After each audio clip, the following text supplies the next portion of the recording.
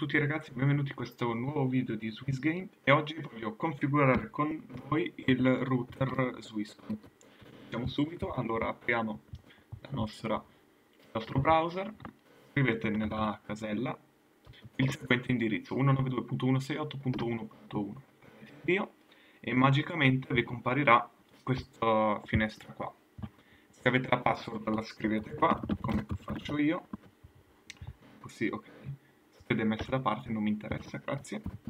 Scrivete la password. Se non l'avete fate qua impostare una nuova password e magicamente sullo schermo del vostro router comparirà la password da digitare, fate login.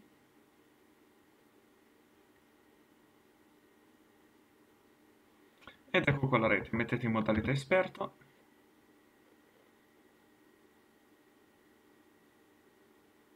Poi fate rete andate nella tab inoltre porte e come potete vedere qua potete inoltrare tutte le porte che vorrete. Per esempio potete fare aggiungi regola. Lasciate sempre questo come qua ovvero TCP barra UDP selezionate per esempio la porta. Nel mio caso l'80 è già occupata dal server Facebook. Qua scegliete il vostro dispositivo. Se non c'è potete mettere altro dispositivo. Buttate dentro l'indirizzo IP magicamente potrete fare il forwarding delle porte. Invece per trasformare l'indirizzo IP da dinamico a statico non è possibile, ma vi è un'applicazione la quale vi concederà di creare una sorta di DNS dinamico di Swisscom.